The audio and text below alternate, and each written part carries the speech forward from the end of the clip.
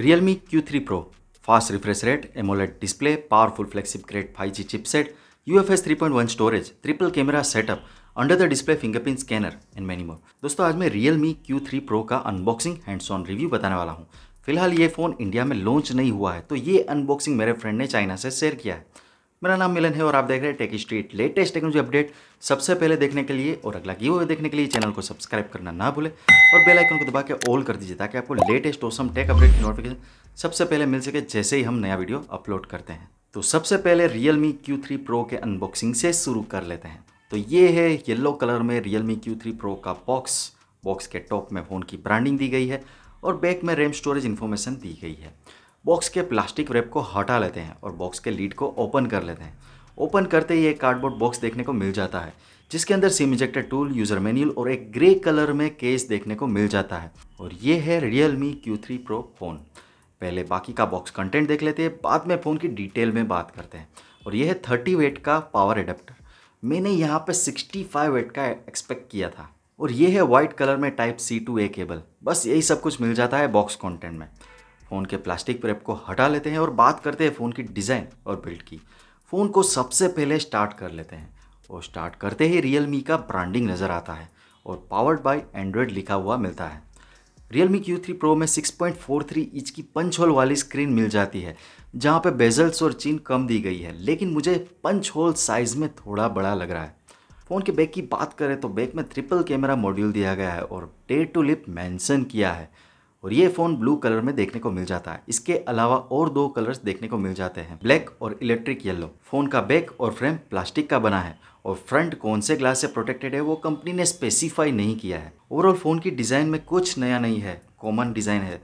बस in hand feel अच्छी मिलती है क्योंकि वेट कम है। Realme Q3 Pro में डिस्प्ले की बात करें तो 6.43 इंच की एमोलेड डिस्प्ले दी गई है और रिजोल्यूशन फुल एचडी प्लस मिल जाता है। और डिस्प्ले काफ़ी अच्छी है कलर और कॉन्ट्रास्ट लेवल भी अच्छा है और रिफ्रेश रेट 120 ट्वेंटी की मिल जाती है। यानी गेमिंग में एनिमेशन में और स्क्रॉलिंग काफ़ी अच्छी स्मूथनेस मिल जाएगी और display H D R ten plus को भी सपोर्ट करती है। और मल्टीमीडिया एक्सपीरियंस भी इसमें बहुत ही अच्छा मिल जाएगा, क्योंकि 3.5 में मोडियो चेक भी दिया गया है। Realme Q3 Pro में परफॉर्मेंस की बात करें तो MediaTek Dimensity 1100 5G चिपसेट लगी है, जो 6 nm प्लेटफॉर्म पर बनी है और ये सुपर परफॉर्मेंस चिपसेट है। हाई एंड गेम्स इसमें हाई सेटिंग पे खेल पाएँगे और स्टोरेज यहाँ पे U F S three point one मिल जाएगी और फ़ोन में तीन वेरिएंट्स मिल जाएँगे। Six G B RAM one twenty eight G B storage eight G B RAM one twenty eight G B storage और eight G B RAM two fifty six G B storage यहाँ पे storage को expand नहीं कर सकते क्योंकि कोई micro card का स्लोट नहीं मिलेगा। यानी जितना स्टोरेज है उतने से ही काम चलाना पड़ेगा। Realme Q3 Pro में कैमरे की बात करें तो rear facing triple camera setup मिल जाएगा, जहाँ पे प्राइमरी 64 मेगापिक्सल का कैमरा दिया है। सेकेंडरी 8 मेगापिक्सल का अल्ट्रावाइड और थर्ड 2 मेगापिक्सल का मैक्रो सेंसर दिया है। फ्रंट में 16 मेगापिक्सल का सेल्फी कैमरा मिल जाता है। फ़ोन में four K video sixty F से रिकॉर्ड कर सकते हैं, जो अच्छी बात है। ओवरऑल कैमरा यहाँ पे एवरेज है इस प्राइस सेगमेंट के हिसाब से। Realme Q3 Pro में OS की बात करें तो Realme UI 2.0 पे चलता है। जो बहुत सारे फीचर्स के साथ आता है और बेस्ड है एंड्रॉयड 11 के ऊपर।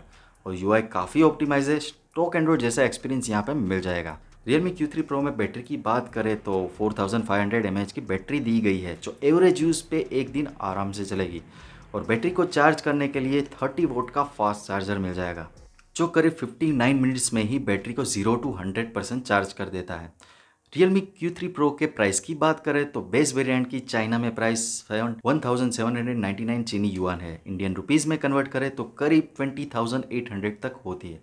और यही प्राइस में इंडिया में लॉन्च होता है तो बहुत ही अच्छी बात है। कंक्लूजन पे आए तो fast refresh rate AMOLED display 3.5 point M audio jack super performance chipset dual 5G connectivity लेकिन कैमरा एवरेज है और बैटरी भी कम दी गई है। और दोस्तों, आप क्या सोचते हैं रियलमी क्यू थ्री प्रो के बारे में? कौन सा फीचर आपको अच्छा लगा और कौन सी प्राइस रेंज में इंडिया में लॉन्च होना चाहिए? मुझे कमेंट सेक्शन के अंदर ज़रूर बताएँ। और ऐसे ही लेटेस्ट जो अपडेट सबसे पहले देखने के लिए और अगला यू वे देखने के लिए चैनल को सब्सक्राइब करना ना भूलें।